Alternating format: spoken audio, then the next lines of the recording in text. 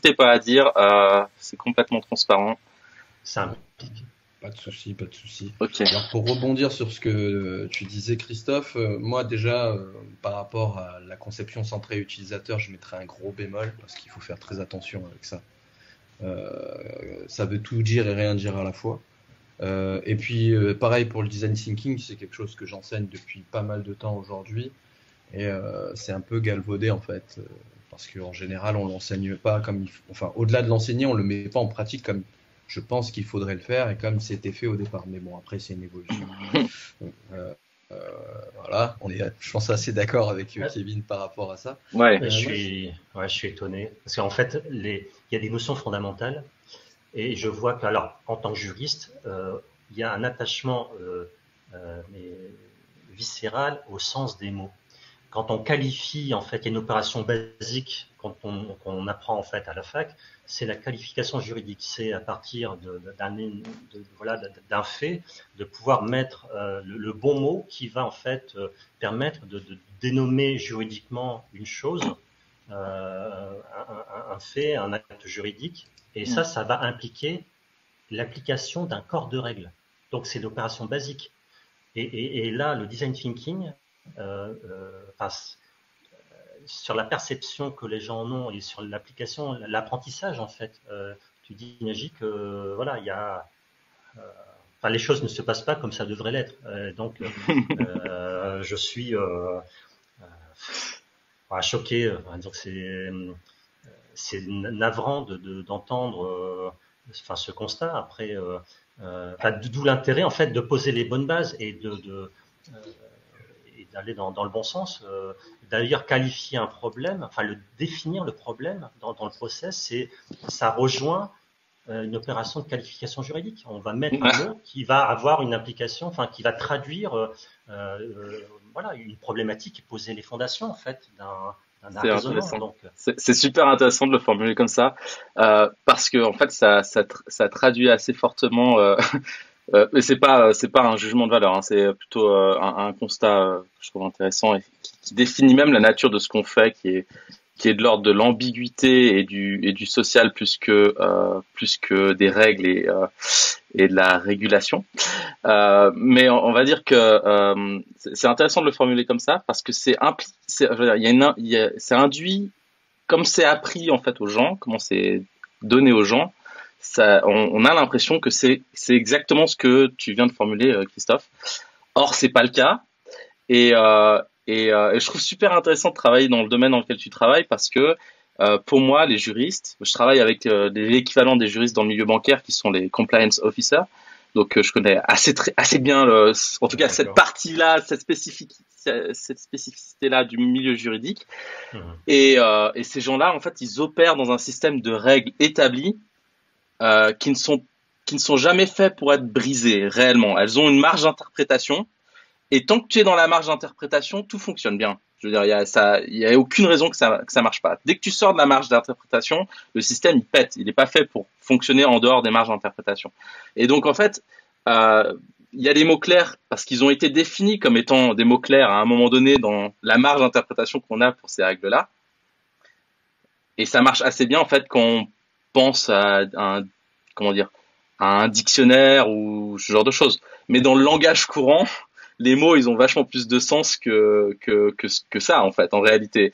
Et la flexibilité du langage humain, il est, elle, elle, elle, il en fait notre adaptabilité dans un sens, mais il en, il en, il en fait aussi ben, l'ambiguïté inhérente, en fait, au, à, notre, à, nos, à nos modèles d'opération, on va dire, dans la vie courante. Et donc, euh, je trouve super intéressant parce que c'est un espèce de, de paradoxe qu'il faut savoir naviguer.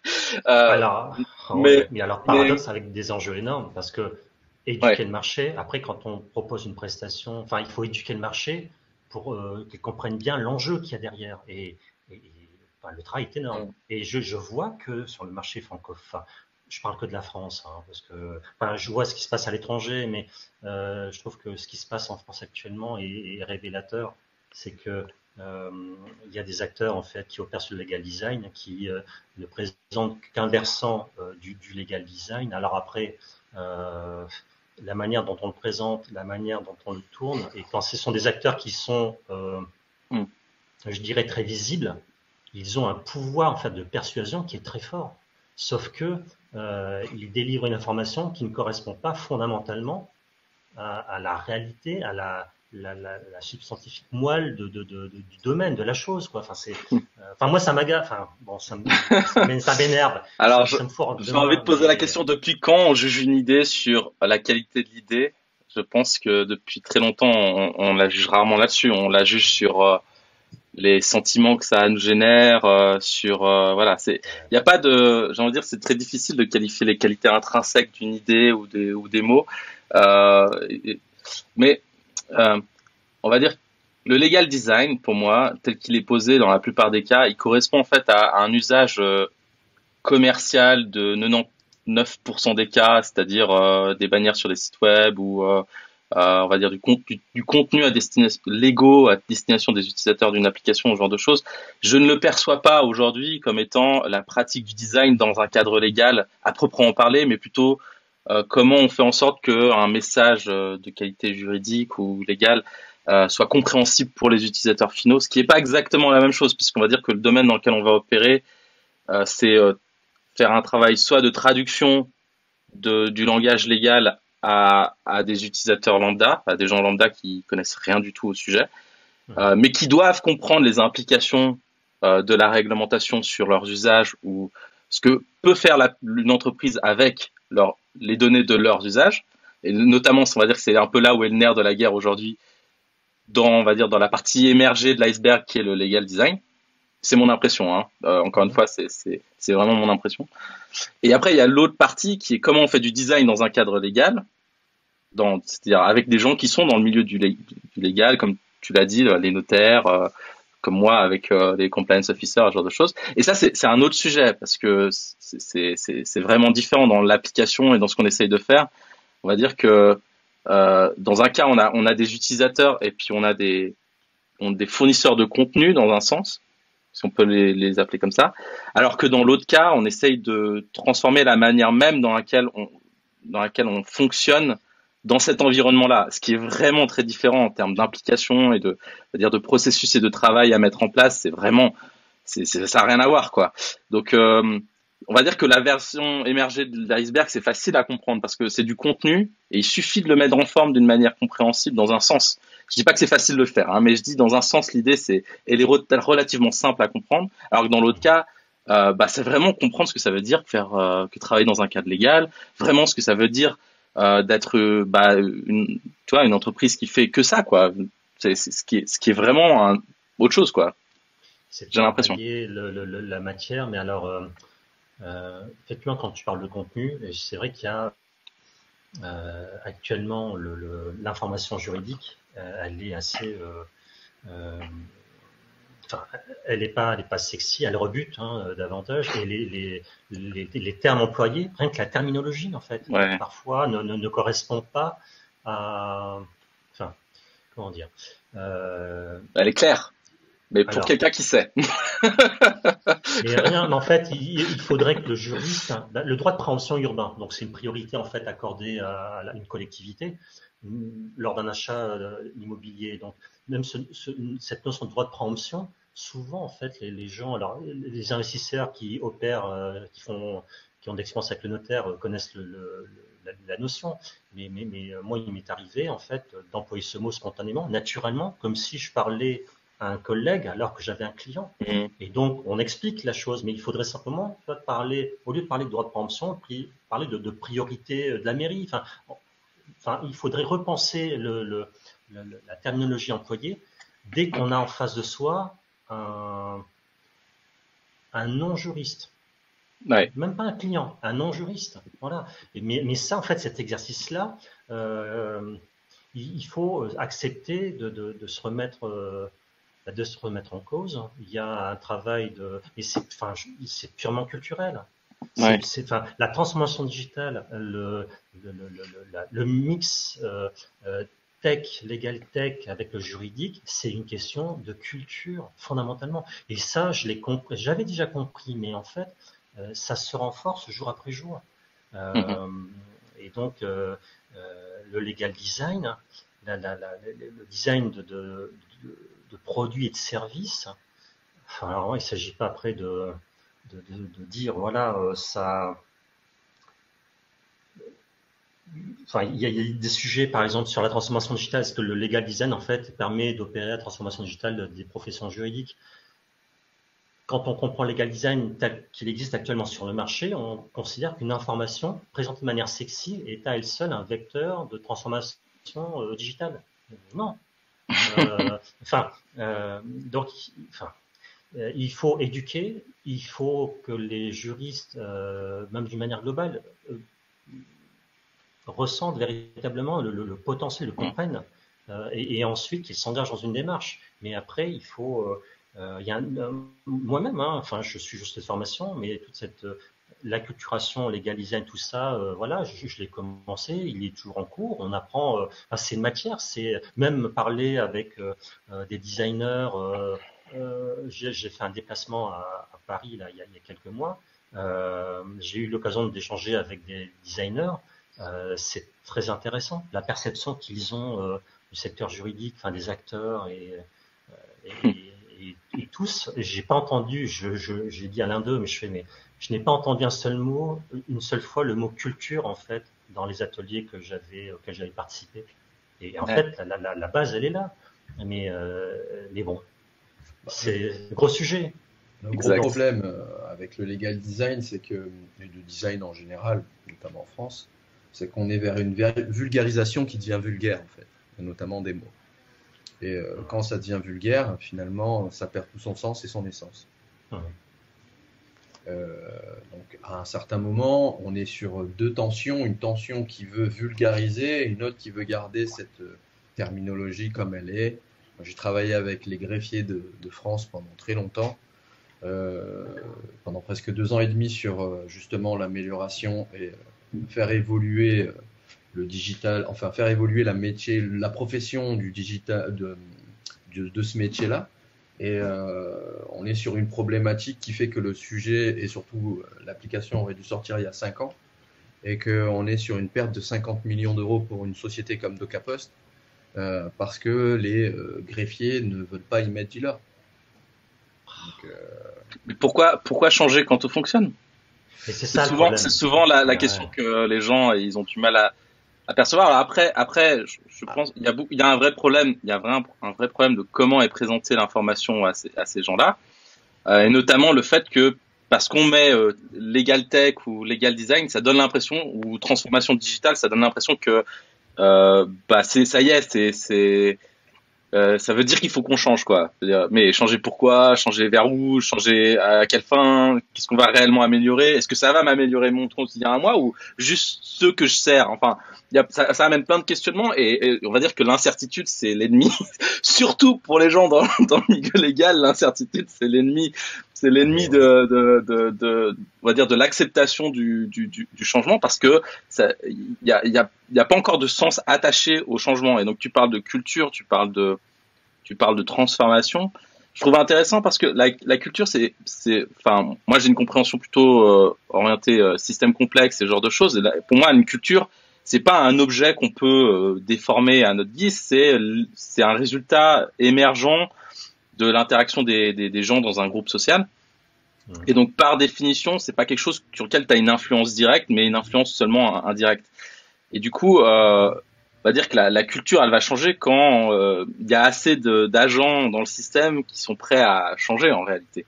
Et, euh, et donc, ça veut pas dire qu'il faut que tu travailles à un niveau individuel chaque personne, mais ça veut dire qu'il faut que tu arrives à générer, on va dire, euh, ce qu'on appelle un, un pattern de, de, de, de, changement dans, dans le groupe, ce qui est quelque chose d'assez compliqué à faire, puisque par définition, c'est pas très très clair ce que ça veut dire. Ça dépend énormément du contexte dans lequel on opère et des gens avec qui on, on travaille. Et quand on atteint ce, ce qu'on appelle un vecteur de, de, changement, on arrive à pousser les gens dans une direction, même ceux qui, qui étaient récalcitrants, parce qu'il y a une pression sociale, parce que si, parce que ça, il y a plein de, de facteurs qu'on peut, qu'on peut, euh, qui expliquent ce phénomène. Mais c'est dur à faire. Et, euh, et, et, les gens qui font ça, ils, ils parlent pas, ils parlent rarement de culture, parce qu'au final, la culture, c'est juste une, c'est juste un label sur euh, un phénomène qu'on observe, mais ça explique rien en soi. C'est pas. t'as pas de pouvoir explicatif de dire je vais changer la culture. C'est pas c'est pas quelque chose euh, actionnable dans un sens. Euh, tu vois, c'est. Après, c'est de d'amener. alors, il il s'agit pas de. Enfin, le digital, le juridique mhm. Et euh, et la tech, c'est deux cultures qu'il faut marier. Il s'agit pas de. Euh, ah, je, je, je, non, j'ai envie de dire, ils sont pareils, c'est juste qu'ils se comprennent pas, mais ils sont pareils. Ils, ont une compréhension, ils ont, euh, on va dire, ils ont une compréhension très, euh, euh, on va dire règles et protocoles et ce genre de choses. C'est des gens qui, qui, peuvent se comprendre réellement. C'est juste qu'ils n'utilisent pas les mêmes mots pour parler des choses, mais. Mais il y a des process. ouais, la tech et le, et le légal, c'est, ah, je veux dire, c'est hyper rigide. Ouais, clairement. Très rigide. Mais le problème euh, avec le digital ou la tech et, euh, et tous ces métiers dans le légal, c'est que souvent ceux qui utilisent les ceux qui utilisent les, les logiciels pour euh, pour tout ça, ce ne sont jamais les greffiers. Non, mais c'est ça le problème. Il faut co-créer les solutions. Ouais, exact. Nous, c'est sur ça qu'on a été confrontés parce que le jour où je suis monté à Créteil, puis après à Dijon, puis après à droite et à gauche pour voir qui étaient les utilisateurs finaux, je pensais que c'était.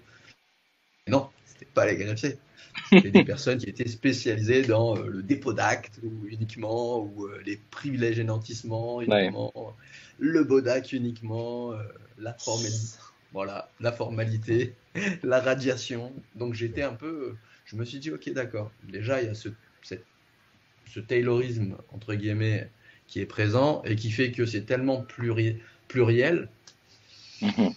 Mhm. quand on dit les euh, greffiers, quand on dit les greffiers, en fait, ça implique plein de choses derrière qu'on voit pas en fait au premier abord. Exactement.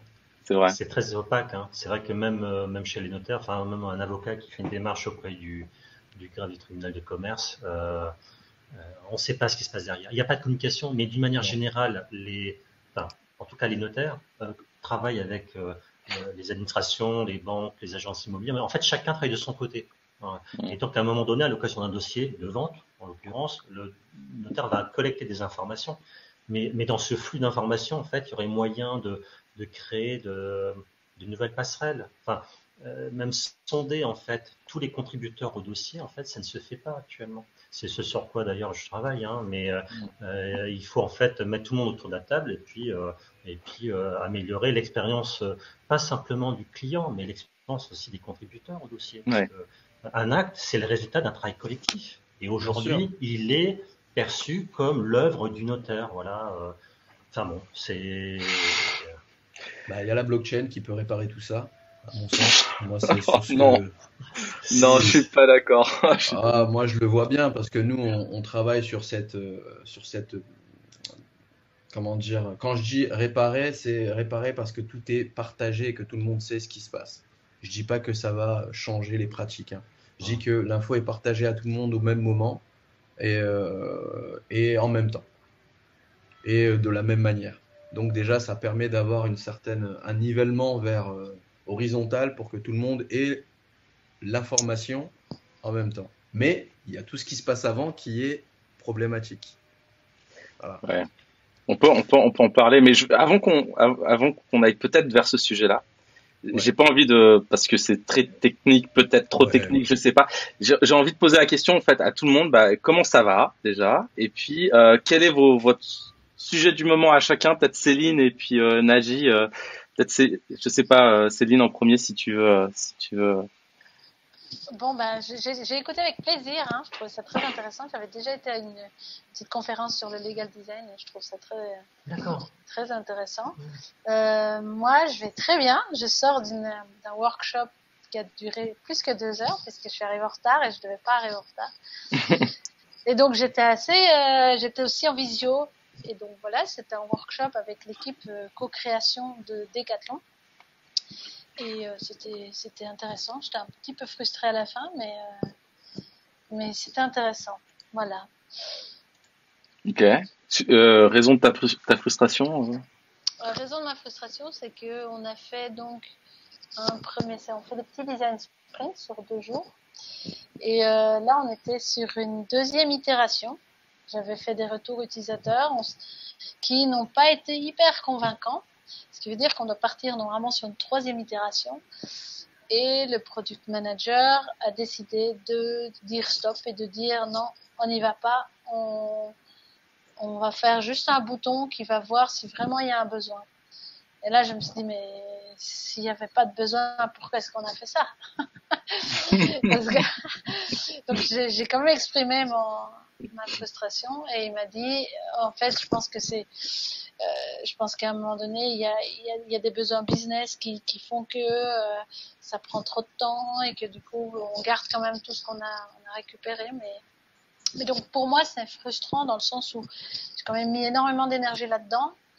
Et puis, euh, puis on finit par, par, par, ne pas aller au bout du, du processus. Quoi. Donc, voilà. Ouais. c'est notre euh, quotidien, je crois. on a souvent des cas. la frustration, c'est faut, faut aimer la frustration quand même quand on est designer parce que je pense que sur les bords, on est tous un peu idéalistes et euh... et euh, après, hein je pense que c'est bien de l'exprimer aussi. Moi, je l'ai exprimé, tu vois, par, pour, euh, pour exprimer aussi. Euh, et donc, ça fait une discussion aussi. C'est pas, c'est pas négatif non plus.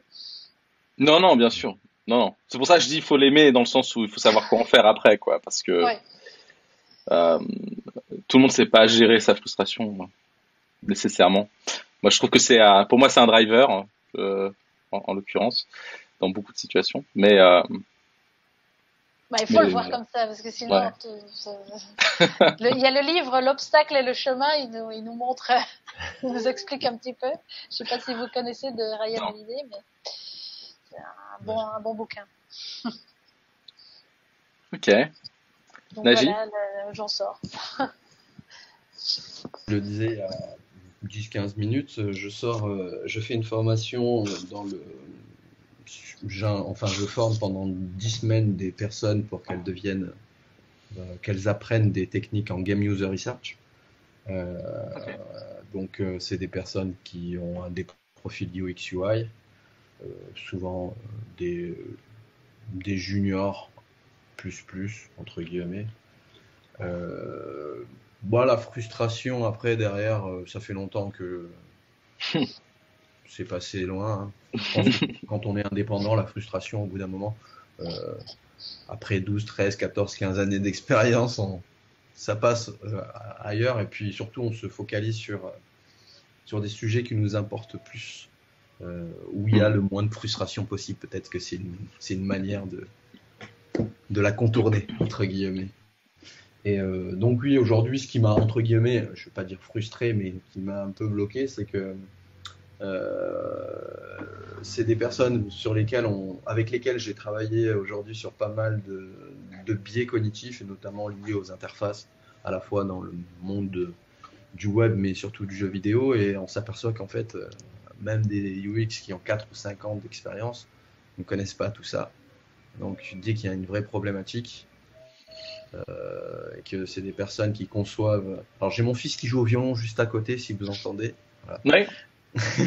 On entend, mais ça va. Hein. Il, joue, pas trop mal. Il joue pas trop mal. Hein. Ça casse pas les oreilles. voilà. Et euh, c'est vrai que ça m'a un peu, mais bon, c'est et c'est pour ça qu'on fait ces, euh, ces formations là. Après, euh, sinon tout va bien. Les projets avancent très bien. tout se passe super bien. Après, moi, je suis sorti du monde de l'UX. Hein, hormis la formation et les cours, j'en fais plus trop. C'est quoi ton, ton domaine si tu veux le Aujourd'hui, je suis focalisé entièrement sur euh, la création de, de, de, sociétés en Afrique, notamment qui font à la fois de la formation, euh, du, euh, du nearshore, du offshore, et euh, de la formation à la fois dans des sociétés, faire monter des équipes en compétences et tout ça. Et je pilote des, des, des, équipes et des personnes, et c'est vraiment ce qui ce qui prend 80% euh, de mon temps. Et à côté, je fais des mmh. projets, euh, notamment, bien évidemment, sur la blockchain et toujours sur, sur l'Afrique et d'autres pays. Euh, sur, par exemple, un exemple très concret, la traçabilité de, des poches de sang livrées par drone en Afrique. Donc voilà, mmh. c'est plein de projets comme ça et ça fait un an, un an et demi qu'on est focalisé dessus, on est à fond à fond propre. Et là, ça commence à être un peu difficile financièrement, mais on touche au but. Donc c'est cool. bah, on, croise les doigts, croise les doigts pour toi. Nous aussi. C'est des beaux projets. L'Afrique, il y a des, belles choses en fait à, faire. Euh, au niveau du Maghreb, du, Maroc, parce que je me suis un petit peu intéressé au, notariat en fait en, Afrique, euh, avec des problématiques en fait qui sont euh, enfin similaires. Il y a des problématiques universelles. Hein. Un, dossier chez le notaire, c'est collecter des pièces, traiter le dossier et signer. Et donc cette problématique-là, voilà, là toujours des, phases de, voilà, enfin de, de, friction, notamment sur la collecte d'informations, sur le moment où est délivrée l'information. Euh, euh, là-dessus, il y a, y a pas mal de, choses à faire. Euh, Nagi, tu, tu opères sur un, un, État africain en particulier ou c'est euh, euh... En fait, euh, on opère sur l'Afrique francophone et un peu anglophone, pour être très clair. Après, la partie francophone a hérité de la lourdeur de la France au niveau de la bureaucratie et de l'administration. voilà, hein, pour être très clair, elle a aussi hérité de notre côté diplômant, il faut des diplômes, etc., etc., etc. Mais après, elle a hérité aussi de la culture française, de cette, de cette formidable euh, rigueur qui est, qui est hyper intéressante et importante. Sinon, j'opère sur euh, sept pays actuellement. Euh, on fait la Tunisie, l'Algérie, le Sénégal, le Burkina Faso, le Cameroun, la Côte d'Ivoire et le dernier c'est le Niger. Hmm. Et puis on est sur l'île de la Réunion aussi. Et on va vers l'Afrique anglophone parce que c'est un autre mindset qui est assez intéressant.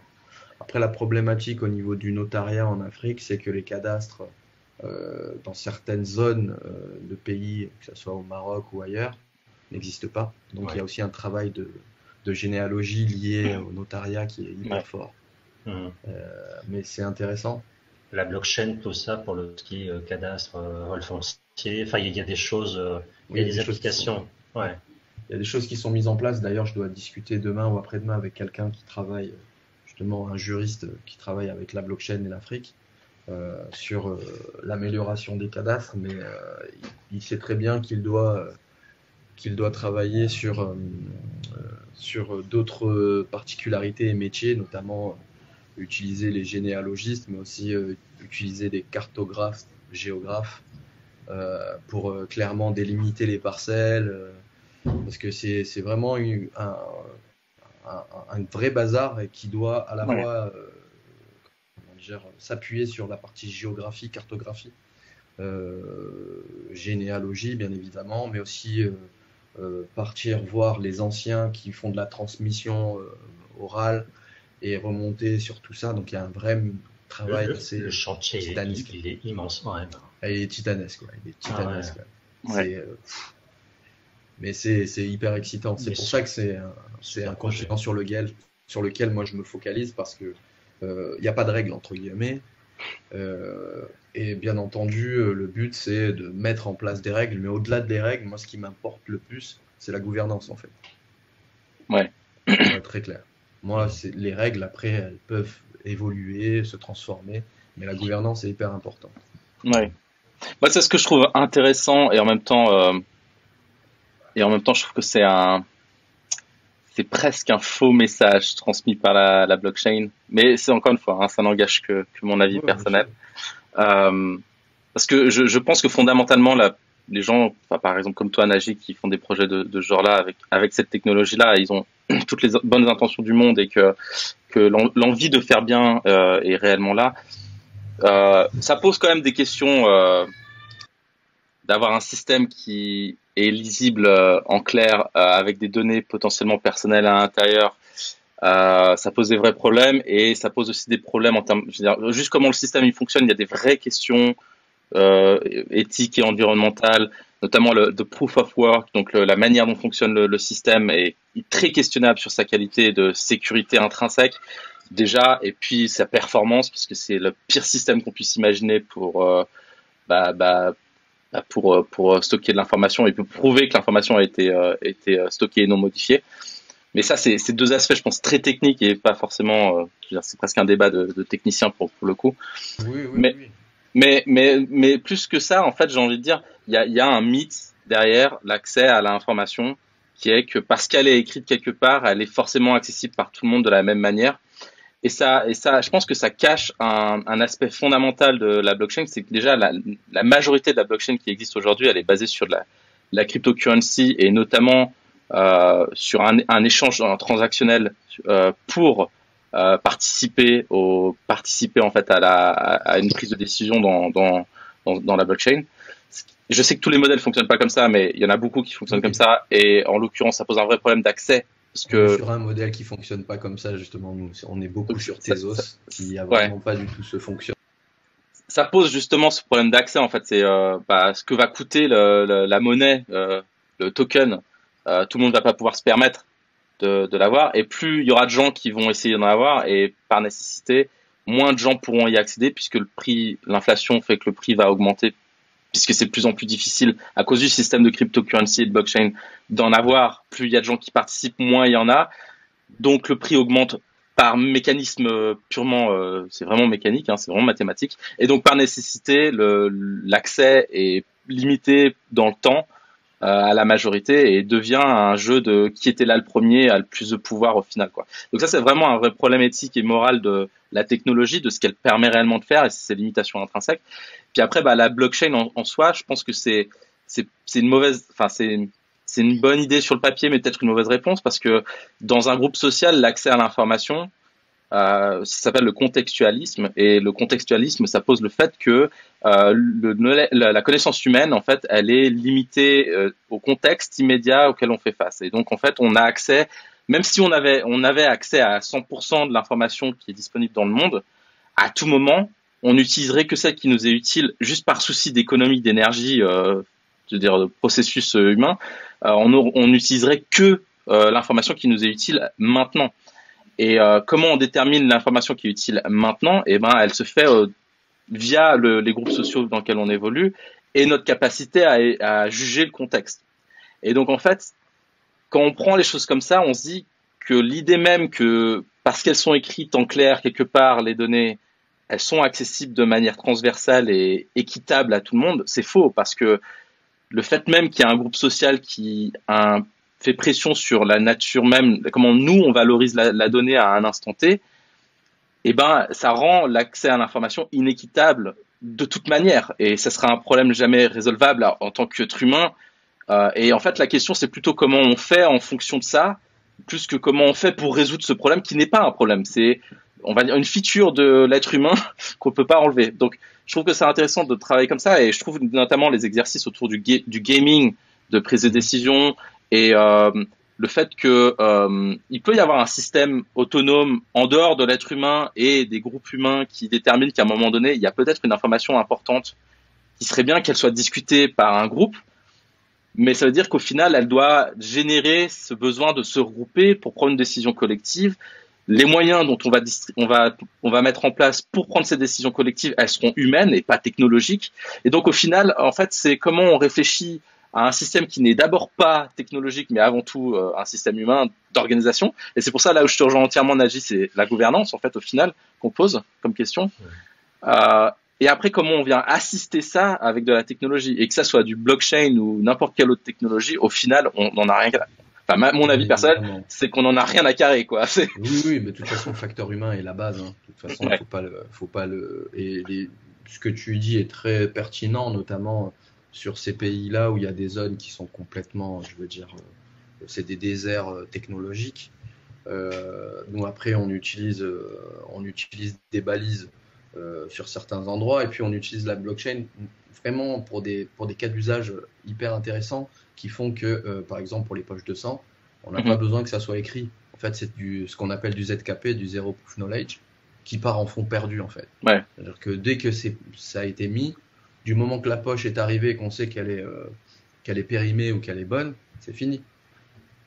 Et mhm. après, derrière, il y a un système, par, en revanche, de redistribution avec des tokens qui sont assez intéressants. Et je pense que c'est là où euh, j'aime beaucoup, moi, l'aspect blockchain, parce que c'est de la redistribution de valeur euh, à la hauteur de ce que les gens ont, comment dire, investi au départ, qui est intéressant. Par exemple, un exemple très concret nous sur lequel on est, c'est que des gens en Afrique qui donnent du sang ne vont pas, c'est gratuit, hein, ils vont donner leur sang, mais quand ils vont vouloir avoir besoin de sang, ça va être payant.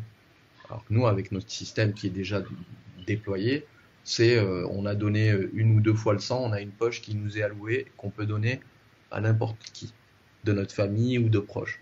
Voilà, en, amont, il faut avoir fait une. Mais du coup, du coup, le token, le token, il est indexé sur la, sur le, enfin, sur la nature de, du produit. Donc, il y a un, on va dire qu'il y a une indexation euh, physique de la valeur du token qui est, que je trouve super intéressante et qui n'existe pas, par exemple, dans les cryptocurrencies. Non. Qui crée cette inflation, euh, notamment euh, extraordinaire et oui, quand on clique, il faut faire gaffe. Hein, on a tendance à, à bouger. euh, c'est ça. Et puis, c'est euh, clair, c'est clair, c'est le don et le contre-don, hein, on n'a rien inventé. Hein. Non, non, bien sûr. Mais, mais je trouve, ouais, ouais, je dis pas qu'il y il y a pas des usages intéressants. Je dis juste, sur le principe, je me méfie toujours quand quelqu'un me vend quoi que ce soit avec blockchain dedans et, token et cryptocurrency, ah parce que euh, souvent, quand tu vois, quand tu vois, euh, quand tu vois ce qui se passe avec les, NFT, par exemple, qui ah pourrait, tu vois, tu pourrais très bien dire, on fait du NFT avec les poches de sang. Tu vois, tu pourrais très bien dire ça parce qu'au final, c'est ça, c'est de dire, euh, il y a une poche de sang, elle existe, elle existe pour euh, une personne ou pour un groupe de personnes, donc tu pourrais créer un, tu pourrais faire un système de NFT en fait, par exemple. Mais, la problématique du NFT, c'est que derrière, il faut qu'il y ait un smart contract. Exact. Et un, un, contrat légal. Exact. Légal euh, avec un avocat qui fait qu'il y aura un coût. C'est ça la problématique qu'il va y avoir. Tu vois. Et puis, euh, et puis, euh, une fois qu'il est créé, smart contract, il est, il est indissoluble. Exactement. Et ça, c'est un vrai problème parce que tu peux pas, euh, tu peux pas euh, euh, évoluer le contrat. C'est impossible. La nature du contrat est gravée dans, est gravée dans le marbre. Et du coup, c'est des vrais problèmes d'évolution. Écraser l'autre et qui va écraser l'autre et qui va écraser l'autre et c'est pas intéressant. Bon, ça, c'est parce qu'on est en, en layer 2 ou 3 et ils disent que sur le layer 4 ou 5, il y aurait plus de smart contract, mais j'y crois pas trop, pour être très clair, parce que c'est une manne financière qui est formidable. Exact, ça, c'est pas intéressant, euh, c'est pas intéressant aujourd'hui financièrement de, de, de, faire ça. De le faire. Il y a un business qui est en train de se créer dans, dans tous les sens. Euh, par exemple, nous, dans notre, on, est, on a créé à la fois une, une, association au départ et ensuite une société. Et dans les mhm. cinq cofondateurs, on a un spécialiste euh, avocat spécialisé dans l'IA et dans la blockchain, qui a une chaire euh, à l'UNESCO et qui est professeur à Paris 8, tu vois. Et euh, clairement, moi j'ai posé ce genre de questions parce que c'était quelque chose qui, bien sûr, au début, tu dis, waouh, c'est la liberté, on va apprendre plein de choses, on va faire plein de trucs. Et en fait, il m'a dit, non, non, non, tu vas te calmer, voilà, c'est comme ça, comme ça, comme ça, comme ça. Après, bien entendu, on a un terrain de jeu en Afrique qui est ouvert, mais le but, c'est justement de pas faire n'importe quoi, en fait d'essayer d'être euh, et puis surtout d'être dans quelque chose qui est naturel, c'est-à-dire le don et le contre-don. Euh, on aurait pu dire on va vous faire une cagnotte ou, on va vous ouvrir euh, mhm. une, app avec de la crypto-monnaie, vous mettre des bitcoins dedans. Et je pense que si on disait ça, si on dit, si on dit ça à des, à des personnes en Occident, ils seraient hyper contents. Alors que si on leur disait ouais, ben, t'as une poche de sang, tu en donnes une, tu en as une autre bah, en contrepartie, ça serait pas intéressant jusqu'à ce qu'ils en aient vraiment besoin entre guillemets. Ouais. C'est ça qui est la différence. On va dire que la, la, la j'ai envie de dire, euh, sans trop prise de risque, la, la relation que les gens ont avec euh, un échange physique euh, en Afrique aujourd'hui encore, même si ça a changé avec les smart, avec les téléphones, enfin, beaucoup de comptes sont dématérialisés avec, il suffit d'un texto pour faire un échange de monnaie en Afrique. Exactement, avec en USSD. exact. Euh, mais mais à part ça, je veux dire, le, le c'est il y a quand même une nature de, il y a une relation à quelque chose de physique derrière. Il y a eu un échange euh, mm-hmm. physique entre entre deux personnes et ça reste très très très important quoi. C'est et euh, je pense que ça fait partie du tissu social de, beaucoup de pays en Afrique qui qui serait dommageable de de détruire en fait. Évoluer, ouais. ouais. Comme en Amérique du Sud, comme dans certains pays en Asie, on a encore cette culture du don et du contre-don et de l'économie entre, entre, guillemets un peu à l'ancienne. Ça ne veut pas dire que il faut pas aller vers la modernité, mais justement, euh, bah, la modernité, c'est comment dire euh, recontextualiser euh, les anciennes pratiques en mm-hmm. les transformant vers des nouvelles pratiques. C'est comme dans la mode en fait. On sort des Stan Smith alors qu'il y a 70 ans, ils sortaient déjà des Stan Smith. Donc, pour moi, c'est affolant quand on, voit les jeunes. Stan Smith, c'est génial. Ouais, mais j'en mettais quand j'avais 12 ans. Donc, euh, voilà. Et puis d'autres en mettaient quand ils avaient 12 ans et ils en ont moins, bon moins 20 ans de moins que moi. Donc euh, il y a, y a, c'est toujours quelque chose. Euh, c'est affolant. j'ai vu ça, par exemple, j'ai été encore étonné parce que j'ai regardé, je fais une digression, un, reportage sur, sur Al Pacino et en fait, Scarface, je pensais que c'était lui qui avait inventé le truc alors qu'il y avait déjà un Scarface auparavant et il y en avait un autre auparavant. Donc à partir de là, tu te dis waouh tout est une question de euh, retransformation dans l'état actuel euh, de la modernité. Quoi. Et c'est pareil pour tout, les problèmes c'était les mêmes. Euh, c'est toujours la même chose. Et en fait, on se dit dans notre époque, on est en train de vivre quelque chose de nouveau alors que c'est pas vrai. Mais c'est contextuel. Bah, c'est nouveau pour nous. Donc à une échelle humaine, à une échelle humaine, c'est nouveau, forcément. Et puis ce que je trouve intéressant, mais je pense que ça va dans la discussion qu'on avait juste avant aussi avec Christophe euh, sur la culture et puis sur euh, le changement et la transformation. Typiquement, typiquement, c'est c'est c'est c'est euh, c'est enfin quand on étudie les, la nature de les, par exemple ce qu'on appelle l'innovation puis comment les choses ont évolué, on se rend bien compte qu'en fait c'est rarement des vraies créations à proprement parler de quelque chose qui n'a jamais existé auparavant. C'est souvent de la réinterprétation et on va dire un, remixage de choses qui existaient déjà, mais d'une nouvelle manière. Et en fait, c'est cette nouvelle manière qui donne l'impression que c'est nouveau dans le contexte dans lequel c'est appliqué. il y a des bons exemples de ça, euh, notamment, euh, euh, notamment, bien sûr, au moment où je veux m'en souvenir, ça marche plus, ça marche plus. Mais pourquoi pas Mais il y a des, il y a, ouais, il y a, y a des, il y a des bons exemples de ça dans le sens où on va dire que la plupart du, temps, ce qui est important, c'est pas tant que la chose soit nouvelle, mais qu'elle soit perçue comme apportant quelque chose de nouveau dans le contexte dans lequel on veut l'appliquer. Mmh. Et c'est ça, c'est ça qui est réellement important. Et puis quand on a compris ça, en fait, ce qui est intéressant, c'est de travailler par exemple avec les métaphores et les, analogies. C'est un truc que j'aime bien faire parce que euh, une fois que tu as compris un contexte donné, bah, tu peux monter d'un niveau d'abstraction euh, en créer des principes, euh, avec les métaphores, tu peux créer des, principes abstraits à cet environnement et aller après bah, chercher dans d'autres environnements euh, des principes identiques et comment ces principes ils ont été bah, résolus ou euh, qu'est-ce qu'ils ont appliqué comme solution. Et après, tu peux aller voir bah, ce que ça a créé comme changement et comment tu peux bah, réinterpréter ça dans ton contexte à toi. Et en fait, te réapproprier. Et c'est ça qui est intéressant, c'est la réappropriation euh, de, la technologie. En fait, la technologie en soi, elle, n'est rien si ce n'est la, valeur de ce qu'elle peut apporter en termes de, transition, en fait, de changement vers un nouvel état. C'est un moyen. Ce n'est jamais qu'un moyen. donc, euh, ça, c'est sûr.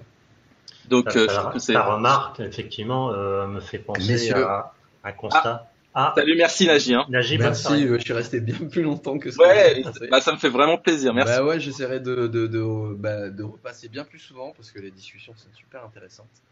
Et, euh, et puis j'ai euh, fait la rencontre de Christophe et de Céline, donc euh, à très bientôt. Passez une bonne fin de soirée dans ce petit chalet au chaud. Et bah ouais, t'as vu, c'est cool, c'est cosy. Ah, c'est magnifique. je connaissais pas, c'est vraiment sympa. Ciao. Euh, je, disais la, le legal design sur la, notamment sur les contrats. Euh, on, on, redéfinit, on, réorganise en fait un contrat, on, le traduit en, en, legal design, mais ce qu'il faudrait, c'est c'est pas partir d'une matière existante, parce que le, contrat, il a été conçu d'une certaine manière, mais mmh. il faudrait s'attaquer à, enfin, faudrait pas, euh, faudrait redéfinir, enfin, euh, recréer la matière. C'est, on parle d'un existant pour le traduire en legal design, il faudrait euh, partir au fond de, la règle de droit. Et ça, si on, si on pousse le raisonnement jusqu'au bout, c'est au moment de l'élaboration de la règle de droit, donc au niveau euh, du législateur, hein, du Parlement, c'est déjà impulsé auprès de nos politiques et des gens qui créent en fait la loi, de leur dire voilà comment il faudrait concevoir la loi à destination bah, du, du, futur utilisateur. Bon, après, les lois, elles contiennent rarement le moyen de l'appliquer. Elles contiennent pas toujours le moyen de l'appliquer. Elles contiennent comment il faut que ça soit fait dans un cadre donné et puis la nature du résultat. Mais il y a moyen de naviguer là-dedans. Je veux dire, il y a, il y a, oui. il y a des zones de flou, on va dire, d'interprétation de, la nature de, du moyen mis en œuvre pour atteindre le résultat escompté, étant donné les règles posées. si je peux le formuler comme ça.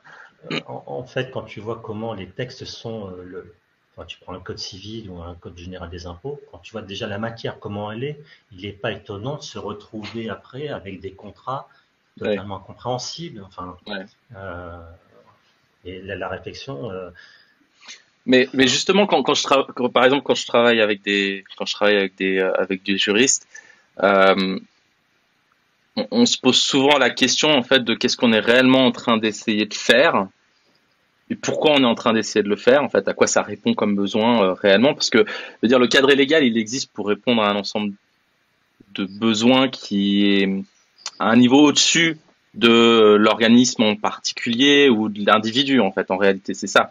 Et c'est pour garantir, en fait, cet, euh, on va dire, ordre plus général qu'on met en place ce genre de, de, réglementation. Donc, la, la compréhension de, com de pourquoi on est en train de faire ça et et comment après on peut l'appliquer concrètement dans, dans le contexte très spécifique dans lequel on est en train de travailler.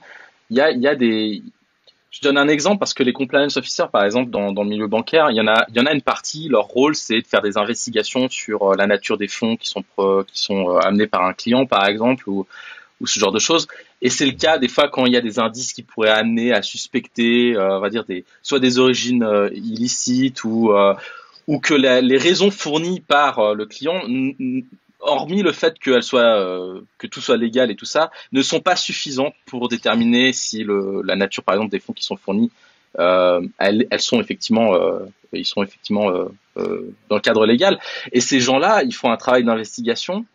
Et quand tu regardes comment ils le font, en réalité, ils sont pas tant jugés sur les procédures qu'ils ont mis en place pour le faire que la qualité de ces procédures-là, en fait. C'est-à-dire à quel point ils sont capables de prouver que le travail a été fait correctement, qu'ils sont capables de prouver euh, qu'ils ont, ils ont acquis la, connaissance de manière déjà dans, euh, légale, et puis, euh, et puis de deux, euh, que cette connaissance, elle permet la prise de décision que la banque va prendre à la fin euh, sur sur le cas euh, en, en question.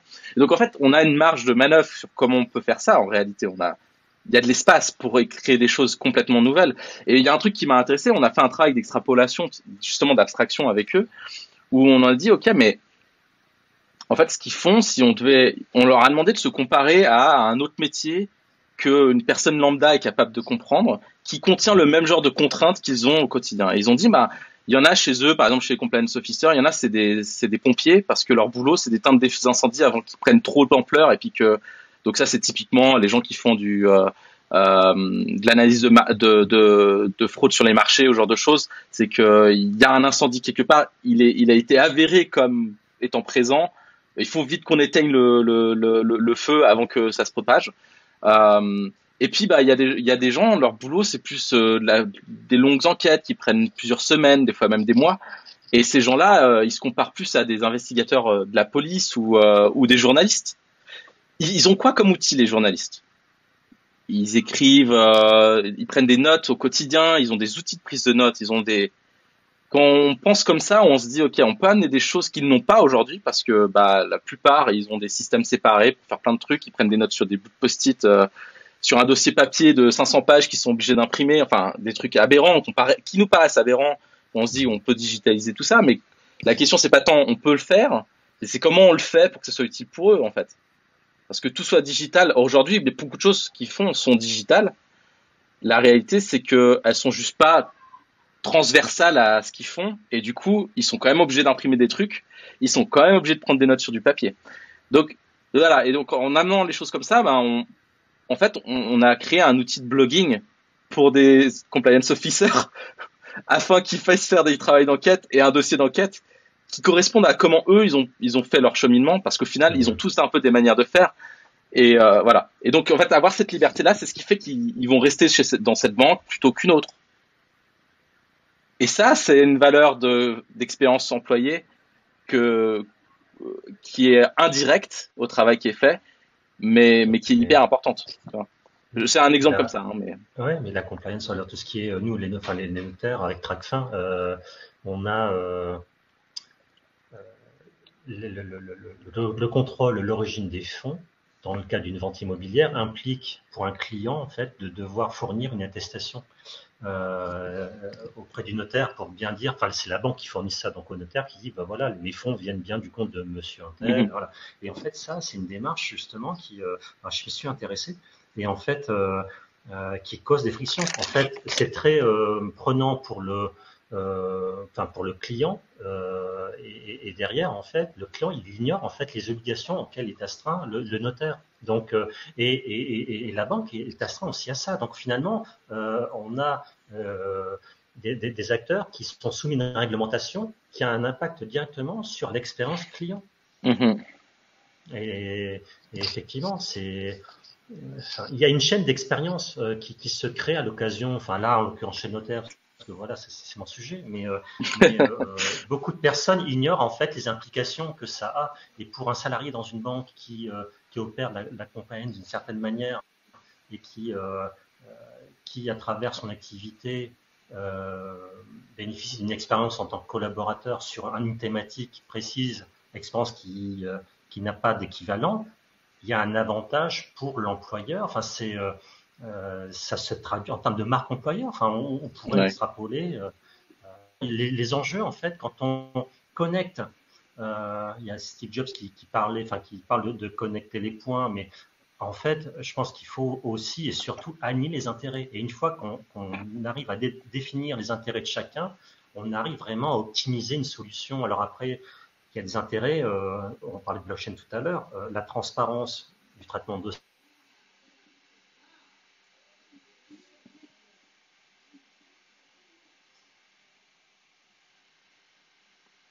Ah. Vous m'entendez? Je vous ai perdu. Je suis désolé. Alors, on, t'entend en tout cas. Ah ben, ah. Oui, moi je t'entends. Désolé, je vous ai perdu pendant quelques secondes. Euh, tous les intérêts, enfin, il faut signer, mais il faut pas que. Il faut donner la transparence, il faut que le client soit informé, c'est bien, mais hein, les clients ont tendance à, à exercer une charge, enfin une pression sur les collaborateurs. Euh, et donc je me dis que dès qu'ils ont une connaissance en live euh, du, du, traitement des étapes du dossier, en fait, ça déclenche tout de suite des démarches, un coup de téléphone, euh, ou enfin voilà. Et donc je pense qu'il faut laisser au, au quart de notaire euh, la, la, maîtrise totale du, du dossier. Donc euh, la blockchain, euh, enfin gros sujet. ouais. Transparence dossier, oui, mais jusqu'à un certain point. Voilà. Alors je sais que ça agace, euh, voilà, les startups en fait, euh, ça, ça, irrite un peu, mais euh, quand on connaît en fait ce qui se passe dans les études et j'ai géré moi des dossiers, voilà, enfin, dans l'intérêt du client et de de, la signature, enfin du voilà du, du dénouement la, du dossier en fait, il faut à un moment donné savoir donner les informations qu'il faut au client, mais voilà, mais pas trop. Voilà. c'est. c'est un peu comme tous les jobs, je pense. Hein. Il y a des choses. Euh, ah, mais ben oui, parce qu'en fait, on donne beaucoup de pouvoir au client, c'est très bien, euh, mais enfin, parfois je trouve que ça, ça va loin. Enfin, euh, en fait, en fait, en fait, le vrai, le vrai problème, c'est qu'on a l'impression qu'il faut qu'on parce que le problème de la transparence, c'est que ça part du principe, dans, dans, comme elle est posée ici, c'est-à-dire euh, une transparence absolue de, du processus, c'est que ça pose un, la question de, euh, on va dire, de euh, euh, euh la symétrie de l'information en fait. C'est-à-dire que les gens, les gens, euh, ça part du principe que tout le monde est capable de comprendre l'information qui va être qui va être donnée. Le problème, c'est qu'il y a des informations qui peuvent créer plus d'ambiguïté et de et de euh, de charge, on va dire euh, cognitive sur euh, exactement euh, qu'est-ce qui est en train de se passer et qui va euh, indirectement peut-être générer, on va dire soit une peur, soit soit une crainte, soit une incompréhension qui sera dur à rattraper après coup. et c'est pour ça que ça, tend à vouloir faire des utilisateurs des experts de, de tout en fait. Et, euh, et c'est un des dangers, on va dire que c'est un des dangers de cette euh, vision-là. Moi, j'ai envie de dire, la, la, transparence, elle est, nécessairement, euh, elle est nécessairement bonne. Après, c'est la manière dont elle est amenée qui va faire vraiment toute la différence. Et le fait est que la transparence, c'est aussi se reposer sur, euh, C'est-à-dire, la transparence, on l'associe souvent à la confiance, euh, mais c'est pas toujours vrai, on va dire. Euh, si on veut la transparence et de la confiance, il faut qu'on puisse se reposer sur les gens, en fait, qui sont sur le terrain et qui perçoivent les choses réellement, pour euh, que une bonne, pour que l'information en fait soit transmise, non pas parce que, c'est pas qu'une bonne information soit transmise, mais que l'information soit transmise au bon moment, en fait, et de la bonne manière, qu'elle puisse avoir un contexte dans lequel les gens peuvent comprendre ce qui est en train de se passer, que l'utilisateur sache que euh, il je sais pas que euh, ça répond à tel critère dans la, la, loi et puis que ce critère il est juste tellement obscur que il faudrait qu'il ait fait euh, la moitié des années d'études du, du, juriste pour pour être capable de, de, comprendre ce que ça implique réellement. Je veux dire au final ça sert à, ça sert à rien, on perd, pas on perd les gens. Exactement. Oui, oui. Bon, le client, faut pas le transformer en, bah, comme tu disais, en expert. Enfin, c'est pas, c'est pas l'intérêt. Ce qu'il faut, c'est l'outiller suffisamment pour qu'il coopère, euh, qu'il collabore intelligemment avec euh, le, là en l'occurrence le notaire. En fait, c'est co-créer le dossier, euh, multiplier les points de contact, mais ne pas laisser, par exemple, ce qui se passe en matière immobilière, euh, 15 jours avant la date butoir du compromis de vente, euh, voilà, le client se réveille, passe un coup de fil, le clerc fait un point sur le dossier, euh, il s'aperçoit que bon, il peut manquer une pièce, et là en fait, il y a à partir de ce moment-là, il y a le, la moindre petite, euh, le moindre grain de sable, en fait, fait que les réactions sont, voilà. Donc, parce qu'il y a une pression, il y a, on a attendu un certain temps, on est sur une charge émotionnelle, des enjeux financiers qui est telle, et dans le dossier de succession, on est encore sur un autre registre. Exact. ça, euh, euh, mais, mais euh, j'ai envie de dire, c'est presque plus du processus humain, dans le sens où euh, c'est du design de comment on met en place des processus humains pour pour que, pour que ça, ça puisse se produire, ce que tu es en train de, de, dire, plus que de la technologie. Et pour moi, la technologie, elle est, elle est, elle est là. Dans ce cas-là, une fois qu'on a compris ce qu'on veut mettre en place, la technologie là, elle est, elle est juste là pour assister en fait euh, euh, ce, ce processus-là. Et il faut qu'elle soit assez flexible aussi pour permettre bah, des cas spéciaux où euh, on ne voudrait pas appliquer ce processus-là. Et c'est souvent le problème avec la technologie. Et c'est là où on rejoint en fait la, la boucle de ce qu'on disait avec Nagy, de les juristes et les, et les et la technologie et les gens qui sont dans la technologie sont pas sont pareils à ces égards-là. C'est que euh, souvent la tech elle est rigide quoi. Et euh, et on le voit, moi je le, vois dans beaucoup de projets, une fois que les choses sont, définies, euh, il y a un phénomène qu'on appelle le, path dependence, qui s'appelle, je crois en français, c'est la dépendance, au chemin, et qui est l'idée qu'une fois qu'on a pris en fait un, un, une décision, bah, on a réduit de facto les options qui nous sont disponibles. Et donc, plus on prend des décisions qui vont dans ce sens-là, et plus on réduit notre capacité à prendre des décisions qui vont autre part. Et donc, on se retrouve bloqué dans le chemin qu'on a défini. C'est un peu la, la prophétie autoréalisatrice dans un sens. Et, euh, la technologie, c'est souvent comme ça, parce que c'est tellement c'est coûteux de, mettre en place certaines décisions qu'une fois que c'est fait, on, on s'est fermé les options à d'autres solutions. Et, euh, et c'est souvent que là naît notre frustration. Je pense que celle de Céline euh, récemment est, typiquement ce, genre, de phénomène. Et, euh, dans, le monde juridique, c'est exactement pareil, quoi. Parce que je veux dire, il y a un moment donné, en fait, il y a, eu trop qui a été mis en place pour qu'il y ait un chemin en arrière qui puisse, être fait, quoi. Qu'on puisse revenir en arrière. C'est trop tard. Et, c'est là où il y a beaucoup de similitudes. Mais ouais. C'est très. Euh après, tout, enfin, tout ce qui est transformation, enfin, toutes les solutions ne sont pas tech. Hein. C'est vrai que là-dessus, non. Euh, euh, la, la, tech, et d'ailleurs dans le legal design, on parle d'innovation, mais l'innovation n'est pas tout le temps synonyme de tech. Mais ça fait du bien d'entendre ça parce que c'est ah ouais? Bah, les, gens, les, gens, les, gens, qui font de l'innovation, enfin les gens qui font de l'innovation sont souvent dans la tech, ce qui fait que le discours est souvent confondu comme étant sine qua non. Euh, que ah. l'innovation passe par la ah, technologie. D'accord. Moi, c'est me, enfin, je l'ai très vite, euh, je l'ai très vite perçu. Après, euh, il y a des réactions, des expériences que l'on vit quand on est collaborateur. Enfin, moi aussi, j'étais client de notaire. J'ai vécu les deux expériences. Mhm. Et donc, je sais, euh, voilà, ce qui se passe en coulisses quand il se passe, voilà, enfin, il y a un retard de tel ou tel document. Enfin bon, euh, ouais, l'empathie pour bien comprendre en fait ce qui se passe et dans, dans toute la phase en fait de, de création euh, d'une solution en legal design, euh, l'empathie, euh, mm. permet, enfin, identifier le, le, le problème en se mettant à la place du client. Rien que ça, hein. enfin, interviewer un utilisateur, enfin, c'est un métier à part entière. Hein. Enfin, ça, j'en ai fait l'expérience. C'est hyper intéressant. Ouais. La, charge de travail actuelle euh, et même, euh, enfin pas simplement chez les notaires, hein, mais euh, dans les cabinets d'avocats, enfin, on prend pas le temps. Et donc il faut, faut que les gens sortent, lèvent la tête de leur dossier. Il n'y a plus le temps. Il n'y a plus le temps de prendre le temps parce que on leur demande aussi d'en faire beaucoup plus que. Je veux dire, quand tu vois les quantités de dossiers qui sont censés gérer par mois, dans beaucoup de cas, ils ont ils ont même pas le temps de de, de s'arrêter de réfléchir pour, pour ce genre de choses. Mais ça, c'est un autre, j'ai envie de dire, c'est un, un, un autre problème, quoi. C'est, c'est. Euh... Je crois qu'il y a des secteurs. toi, Céline, par exemple, tu, enfin là, avec des Decathlon, je pense qu'il y a des industries euh, qui sont plus ouvertes.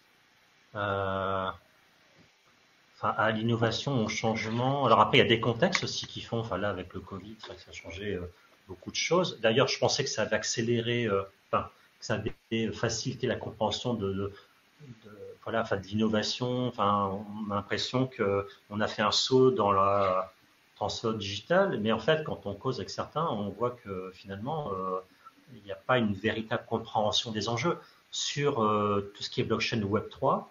J'avais questionné quelqu'un euh, qui opère sur la transformation digitale, mais des directions juridiques d'entreprise. Et en fait, je lui disais, mais aujourd'hui, là, on opère, voilà, sur la transformation digitale. Si demain, on met des solutions en place et que ça soit obsolète d'ici euh, 3 à 5 ans, parce que le Web 3 demandera de repenser en fait, et de, de, jeter à la poubelle ce qui a été mis en place, ah, là je dis il y a un problème, donc il faut essayer de composer. Et il me dit mais ça va pas, ça va pas arriver demain. Euh, le Web 3 va pas mettre à la poubelle euh, beaucoup de choses qui existent dans le Web 2. ça va pas arriver demain. Oui, il faudra du temps. D'ailleurs, oui, ben, je vois ce qui se passe avec avec Facebook, euh, effectivement, euh, mais c'est présenté comme une innovation tellement prometteuse qu'on se dit que voilà, le, opérer aujourd'hui avec le Web 3, composer, intégrer en fait déjà, et ça c'est un enjeu, hein, parce que j'ai euh, d'ailleurs dans le legal design et dans l'expérience en fait, moi je m'intéresse au modèle de fonctionnement en fait des, des, des voilà des, études et, et intégrer l'expérience pour travailler sur un modèle d'organisation. C'est pas chose aisée. Et en fait, on me dit non, non, mais déjà au niveau de l'utilisateur, du client, il y, a, de la matière. Et là, oui. Mais ce qu'il faut, c'est pouvoir avoir une, un, travail qui puisse être euh, déplacé, enfin en tout cas exploité sur d'autres sujets. Mhm. Et il faut de trouver la, la, la voilà, la, la, bonne balance. Mais ça, je, enfin, j'en fais un peu l'expérience. Enfin, j'apprends aussi là-dessus.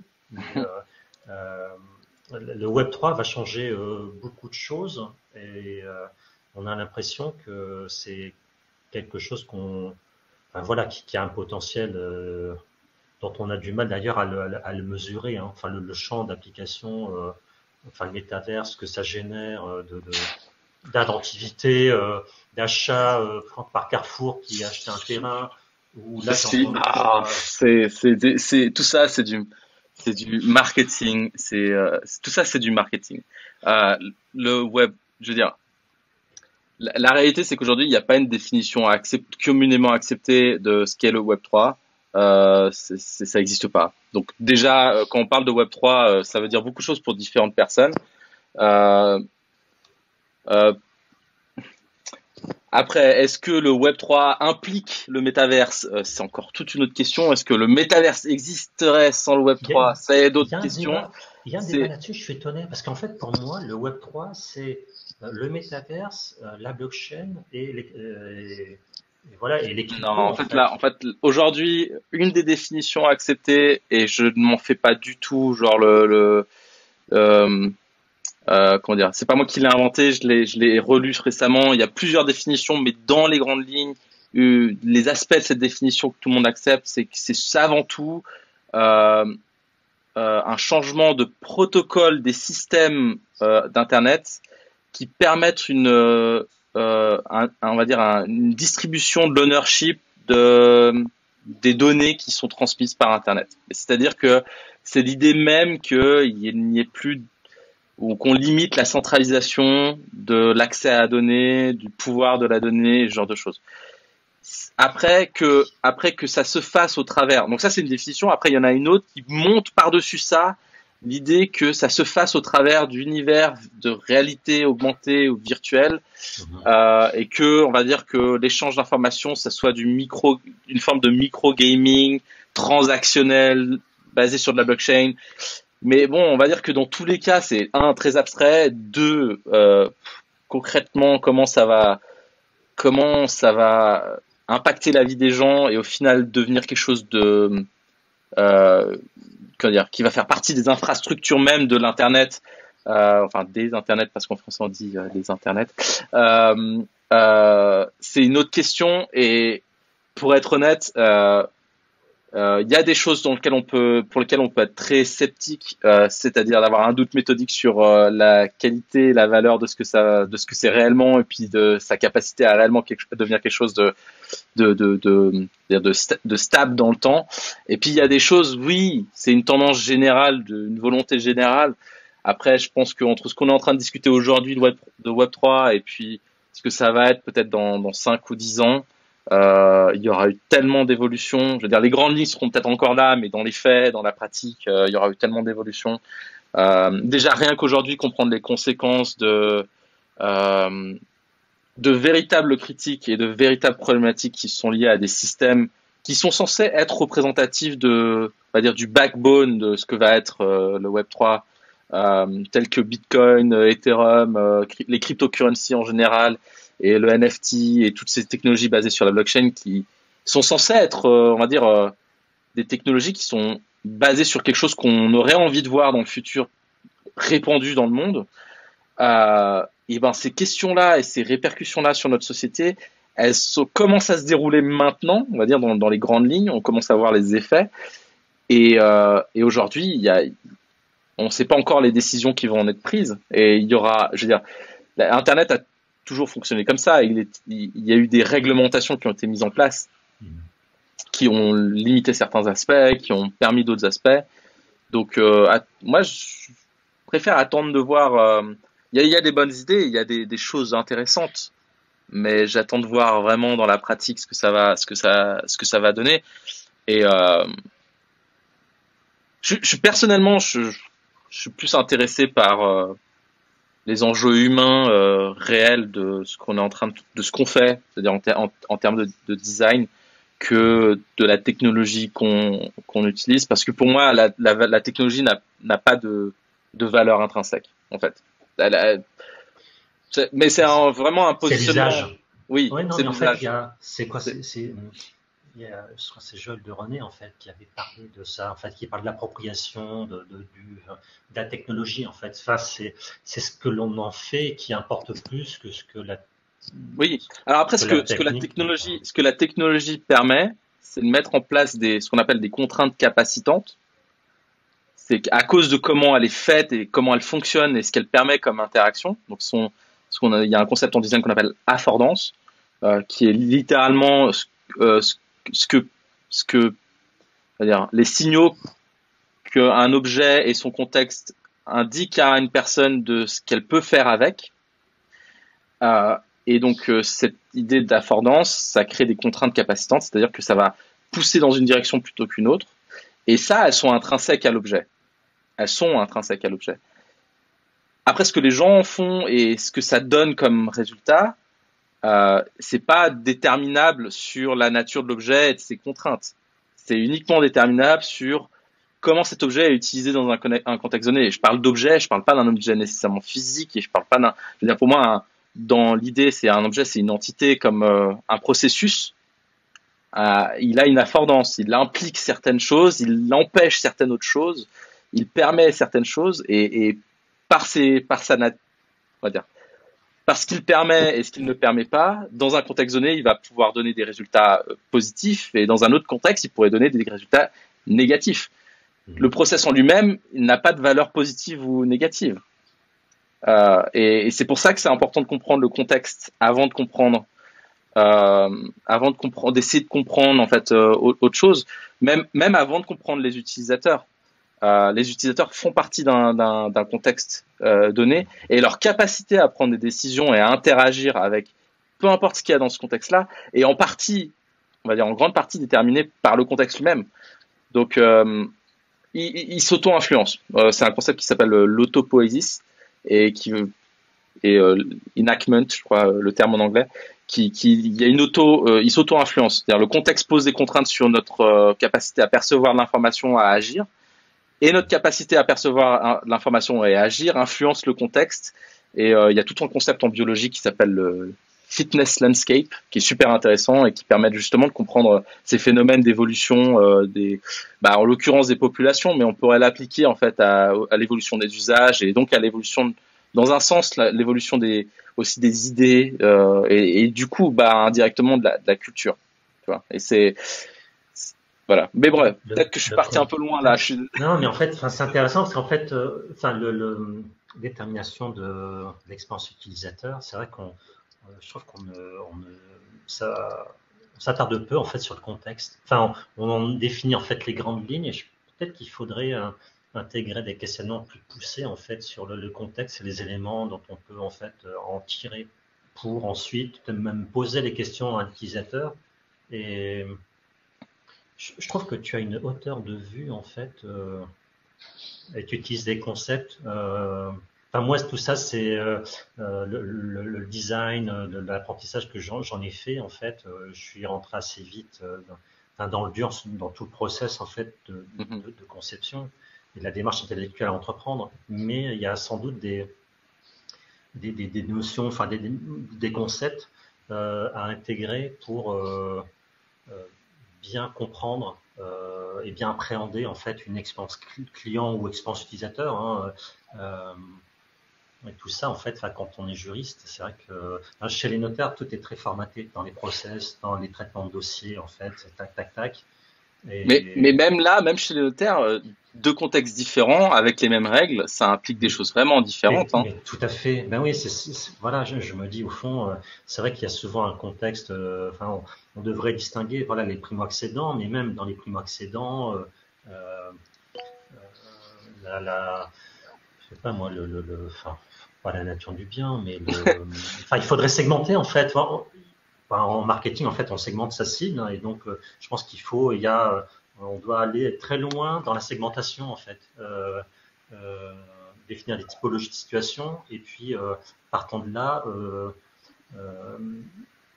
je, t'arrête parce que Céline nous a laissé un message dans le, chat pour me dire qu'elle elle va y aller. Je sais, on a largement dépassé l'heure, on est à une heure et demie.